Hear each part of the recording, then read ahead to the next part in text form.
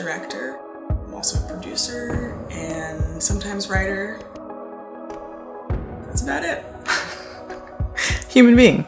Yeah, I'm a human most of the time. I guess you think about production as the means of which to actually make the movie. Someone thinks of an idea in their head, they write it down, and somebody is responsible for actually figuring out the logistics of that. What scene are we doing next? What shirt is she supposed to be wearing right now? Is there a wardrobe change? There are just so many questions.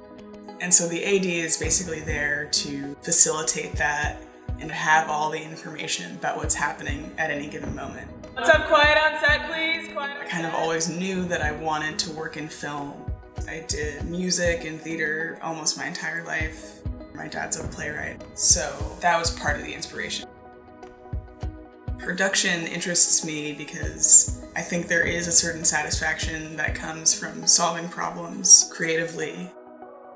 Set can be a smoothly operating machine if it's run the right way. It can be chaos if it's run the wrong way.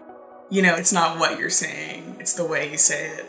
I think one of the keys to running a good set is communicating clearly. Everyone is trying to do their job the right way. Everybody is there for a reason.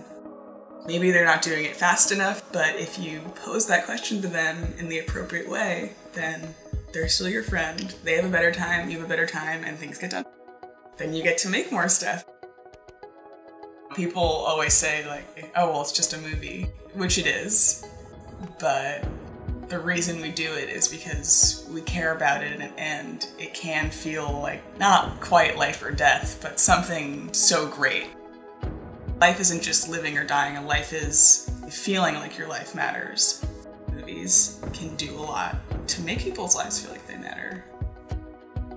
And I think that that is especially important for people of color and women of color to believe that they can tell stories and make art, and they should. It is a boys' club. And for women in film, you have to get in the room first. Power is being in the room where it happens.